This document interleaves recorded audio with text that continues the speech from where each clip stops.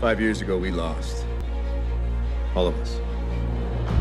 We lost friends. We lost family. We lost a part of ourselves. Today, we have a chance to take it all back. You know your teams, you know your missions. Get the stones, get them back. This is the fight of our lives. And we're gonna win. Whatever it takes.